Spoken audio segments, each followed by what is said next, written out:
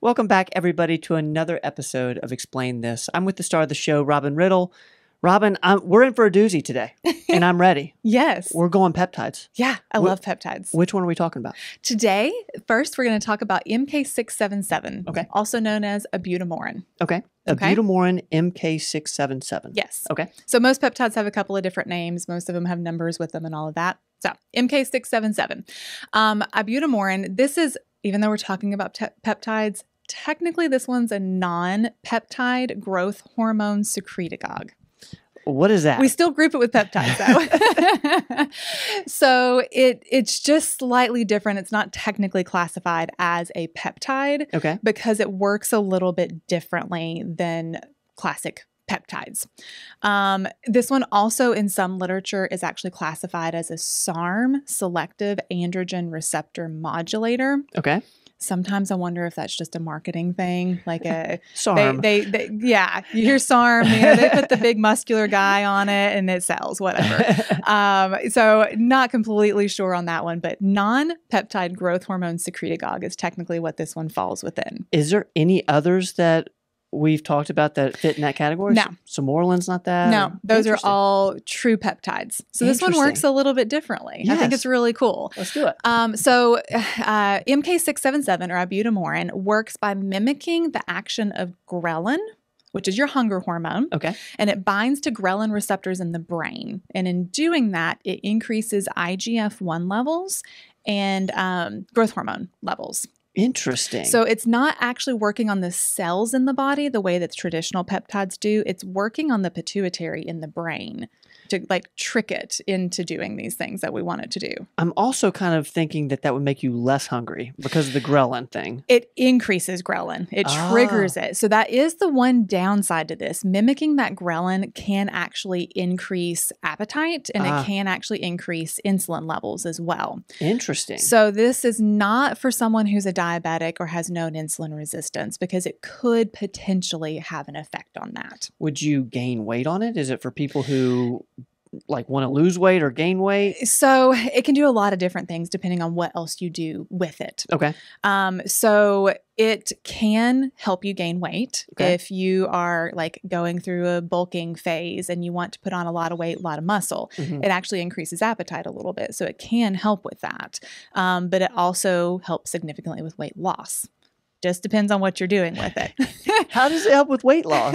depends on what you're doing with it. so, um, it helps with muscle building. So it's actually going to help trigger and build those muscles. Ah, okay. And increasing lean muscle mass, we're going to lose weight with it because we're triggering the body to use fat stores for energy. Ah, So the more muscle you have, the more fat you burn. So we're increasing muscle, so we're burning more fat. kind of like the idea you you actually lift weights to to lose weight, not necessarily Yes. cardio. Because you're burning you're burning fat for long periods of time or something. Yes. So Okay. we are activating those muscles. We're making those muscles bigger. Okay.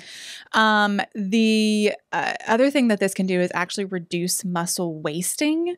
So, some of the studies that they did, um, they took a group of people and they put them on an extremely low protein diet, which normally would cause you to lose muscle because the body's going to eat your muscle looking Right. for what it needs. Right. This actually protected against that. So if we're doing, you know, a diet where we're trying to cut and get really lean, a lot of times you'll lose muscle when you do that. Taking something like this can actually help to preserve that muscle mass. Interesting. So Yeah. this seems to be something you'd use in conjunction with something else or with some other uh you're using it in tandem with stuff. Yes, this is not just like oh, and so I didn't mention this one is taken as a pill, so it's an orally active, which Oh. is normally peptides are not orally active. This one is an orally active one that you can take um, on an empty stomach first thing in the morning. Oh, wow. Yeah. Okay. So, but for this peptide, non peptide, um, you have to be doing the right things with it. It's not like pop a pill every morning and I'm going to lose weight. it's I'm working in the gym. I am doing all the things that I need to be doing. I'm doing what I need to do diet wise, and this is going to help me get there faster. Got it. So you need to be lifting. You need to Yeah. be working out with. You need to be- one. Yeah, if you want to get the actual benefits out of it, as far Okay. as the muscle building, the weight loss, all of that, Okay. it's going to work well with a good diet and exercise. They mentioned you can take it on an empty stomach. Mm-hmm. Is there any side effects with that? Can you can you feel bad? Is there anything you're saying? Mm-mm, typically, no. Um, so again, the the big thing that we see side effect wise with this is the potential for increased appetite. Okay. But again, if it's taken first thing in the morning, you're already going to eat throughout the day. Super interesting. Versus, you know, there are some peptides out there that increase hunger and you take them at bedtime, and that's torture because you're hungry and then you go to bed on an empty stomach. So, this one, first thing in the morning, you may feel a little bit more hungry with it. Long term, it can cause a little bit of water retention in some studies. Okay. This is usually one that I recommend people cycle two, three, four months on, take a couple months off. We're on and off of this one. Um, other big benefits that we get in it are also improved bone density. And so there's actual dosing for this just for osteopenia and osteoporosis. interesting. Which is lower than the normal dosing, so uh, we we can use it just for that bone density, even if we're not looking for the muscle building and the weight loss effect. so I'm hearing muscle building, weight loss, Mhm. osteoporosis. Yep, Who else might you put on this? Um, it helps to improve sleep. Mm. So it's you know it's not something that I'd be like, oh, you can't sleep every night. Take this peptide, but it's just an added benefit to it. It helps to improve sleep as well, um, and then overall anti-aging properties. Okay. So if we want to look younger, feel younger, be younger. Peptides are the way to go. Um, this one is typically dosed 25 milligrams every day. And again, Okay. it's a pill taken first thing in the morning. Um, you can do lower doses, 10 to 12.5 milligrams per day. Again, if we're looking more for that osteoporosis benefit versus the muscle benefits. Um, so, again, good candidates. If we're trying to build muscle, we're trying to lean down, we need to increase the appetite. This is going to help do Mm. that. Um, again, osteopenia, osteoporosis, and anybody who wants the anti aging benefits. I love the fact that you can take it in a capsule and you Yeah. don't have to give yourself a shot or get a shot. Yes. Um, is this kind of like a good?